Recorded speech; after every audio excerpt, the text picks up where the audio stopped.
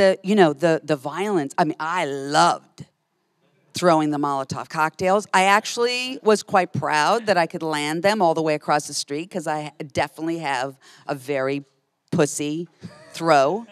If you if you give me a softball, it just looks sad. It goes like that. But for some reason, the weight of that bottle just it really worked. yeah. Awesome. And I really loved all the. I did not public? practice. No, I don't practice.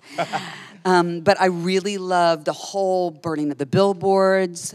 Uh, I had a little trouble with the running the long distances because you know I'm not. didn't, I did uh, pretty good. I did pretty good. But at one point, uh, I was tired and I just fell to my knees. And then after Martin said cut, he was like, "That was brilliant. I love the falling to the knees." I was like, "No, no, no, that was me.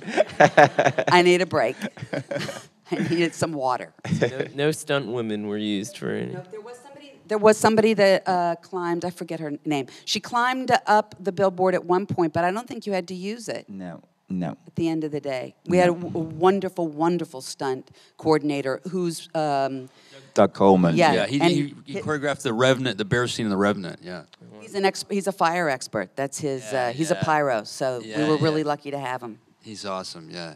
I had something about Frances that I believe that scene when you get up on that billboard to put that fire out. I, there's something about you that I just believe you might do something like that. I, I just, you know, because you, I, you know, I, I don't know. It's just, it's, it's, there's a superhero quality there, and I, I really, I, I buy that scene, and maybe it's just the way Frances sells it, you know, with that clarity and that emotion, you know. But anyway.